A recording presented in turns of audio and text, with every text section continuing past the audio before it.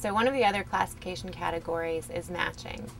And matching describes the uniformity of pearls in a necklace or a pearl item piece of jewelry.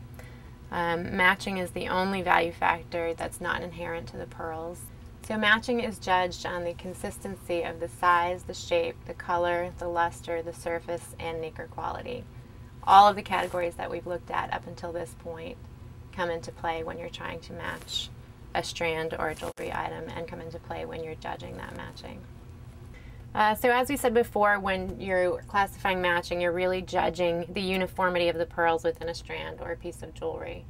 Um, when we are judging matching or classifying matching in the lab, we it's one of the categories that we classify in this position with the pearls held out in front of us.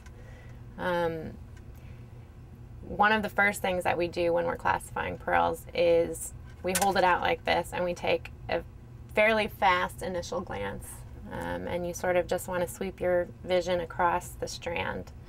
Um, what you'll find is this is sort of almost a slightly intuitive way to see, to get a feel for the overall matching. And that's because if you have a really well matched strand, as you move your eyes across the strand, it doesn't get caught. Your view doesn't get caught anywhere.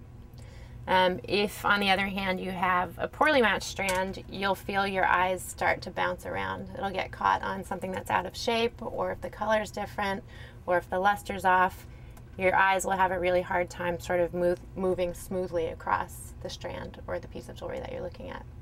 So that's just sort of an initial way, like I said, to get an overall feel for, for what the quality might be of the matching.